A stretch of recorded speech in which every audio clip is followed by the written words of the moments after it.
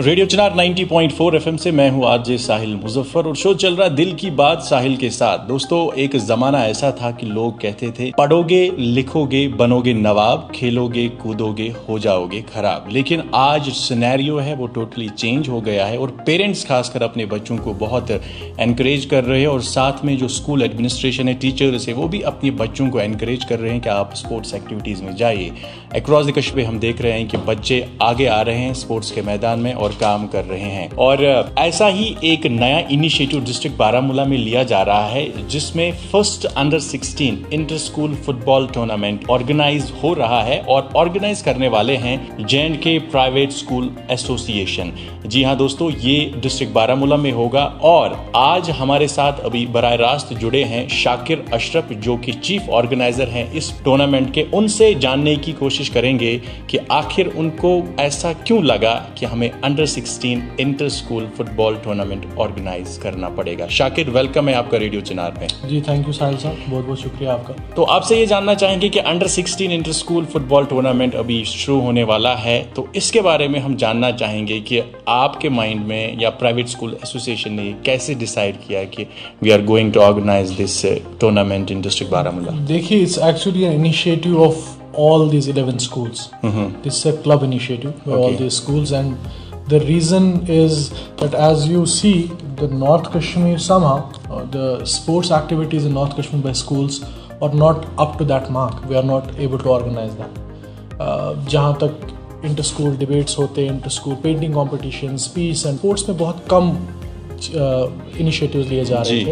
And फिर उससे पहले अगर आपको पता होगा ये चीज़ के एग्जीबिशन मैच एक खेला गया था खुशहाल स्टेडियम में जी रिसेंटली लास्ट जी जी जो नाइट हुआ था। वो एस आर एम वेल्किन और सैंक्टोरम ने इनिशिएटिव लिया था। और उसके बाद we we are surprise to see that how parents were coming how children were coming and supporting their favourite team और उसके बाद वी थॉट दैट क्यों ना बाकी स्कूल्स को भी लिया जाए। And they were very much interested schools were continuously calling us that we want to be part of that tournament but actually में वो एक एग्जीबिशन मैच था। That was just an eye opener for everyone की कहते ना वो जागो ग्राहक जागो। It was something like that और अभी अगर बात करेंगे हम टैलेंट के अगर फुटबॉल के पर्सपेक्टिव में बात करें बिकॉज़ ये we will not keep it up to football only बाकी डिफरेंट स्पोर्ट भी स्पोर्ट्स भी है क्रिकेट है वो होते रहेंगे.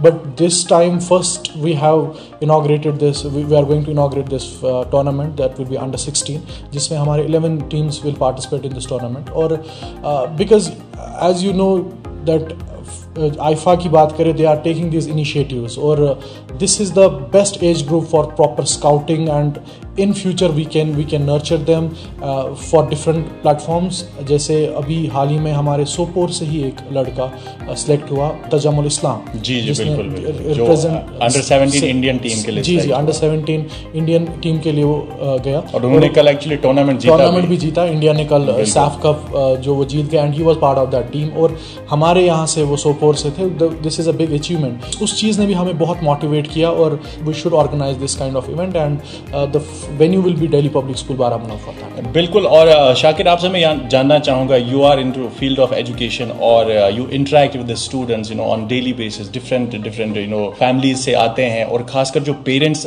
की इंटरेक्शन आपके साथ रहती है आजकल आपको क्या लग रहा है कि जो वो ट्रेंड थी आज से पंद्रह बीस साल पहले कि स्पोर्ट्स की तरफ़ उतना तवज्जो नहीं दिया जा रहा था और आजकल स्कूल्स भी पेरेंट्स भी टीचर्स भी एडमिनिस्ट्रेशन भी ऐसे इवेंट्स को प्रमोट कर रही है और ऑर्गेनाइज करने में हेल्प कर रही है? जी जी बहुत बिल्कुल आपने सही कहा। जी पेरेंट्स आर कमिंग हाँ trend it has totally change लेकिन मैं मैं यहाँ पे ये भी एड ऑन करना चाहता हूँ कि जो तीन साल का गैप रहा because of COVID outbreak schools बंद रहे जी, जी. वो स्टूडेंट्स के साथ जो गैप रहा मुझे लगता है वो कहीं ना कहीं we we have to initiate something कि वो उस चीज़ को हम ख़त्म करें। एंड स्पोर्ट्स एक ऐसा चीज़ है जो जो स्टूडेंट्स को वापस ला सकता है। बिकॉज़ अगर हम बात करें पिछले तीन साल से स्टूडेंट्स घर पे रहे somehow they pass the examination उन्होंने अकेडमिक ईयर अपना क्रॉस किया they are in next class लेकिन स्कूल का क्या? स्कूल जो जो उनको प्लेटफॉर्म प्रोवाइड करता था वो वो वो बहुत मिस हुआ एंड ये घर में जाके नहीं बैठ सकता घर में क्लब फ़िज़िकल एक्टिविटीज़ भी कहीं पे रुक गई बिल्कुल वो रुक गई थी। और अभी देखिए आप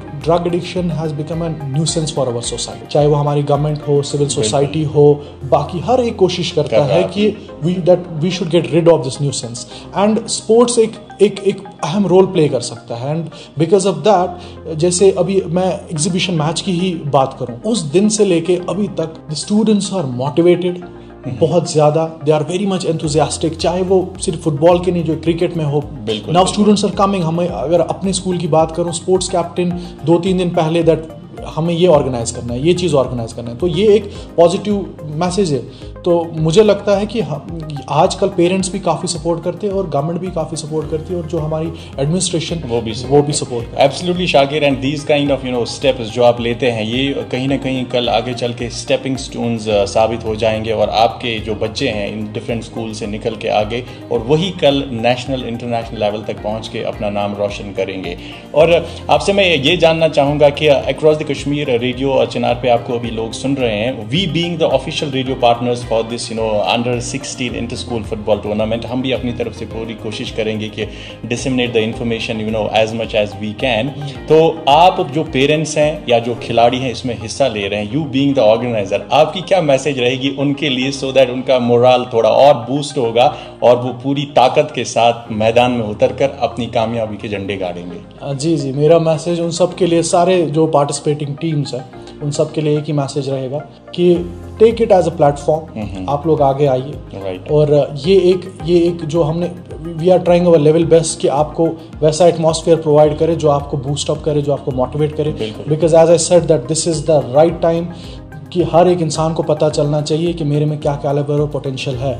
अगर इसमें हमारे पास इस टूर्नामेंट में like eleven schools are participating अगर इन सब पार्टिसिपेंट्स में हमारे पास तीन ही लड़के ऐसे निकल जो नेक्स्ट लेवल नेक्स्ट लेवल में जा सकते हैं तो बहुत बड़ी बात है हमारे लिए सक्सेस और ये इसीलिए हमारा अचीवमेंट है। बिल्कुल बिल्कुल। और जाते जाते आप बताइए हमारे लिसनर्स को कि इनॉग्रल मैच कब हो रहा है और जैसे आपने बताया डीपीएस बारामूला वेन्यू है इनॉग्रल मैच कब हो रहा है? जी जी इनॉग्रल मैच ट्यूसडे को हो रहा है कमिंग ट्यूसडे ट्वेंटी को। और ट्वेंटी जी जी दो बजे इनॉग्रल मैच स्टार्ट होगा and as per the fixture जो बिकॉज़ ये हमें एज पर रूल ही जाना पड़ा फिक्सचर के तो दिल्ली पब्लिक स्कूल का मैच होगा सोपोर पब्लिक स्कूल के साथ। और ये उनका पहला मैच रहेगा दो बजे और साइमल्टेनियसली फिर नेक्स्ट डे से बाकी मैचेस चलते रहेंगे और फाइनल अभी yet we have not decided whether this will be a night match और डे मैच वो अकॉर्डिंगली डिसाइड होगा जो हमारी ऑन बोर्ड टीम उनको लेके तो we will decide that later definitely बहुत ही अच्छा it's a great initiative and trust me I am really super excited और इस टूर्नामेंट uh, के बारे में आपको अपडेट्स रेडियो चनार 90.4 एफएम पे मिलते रहेंगे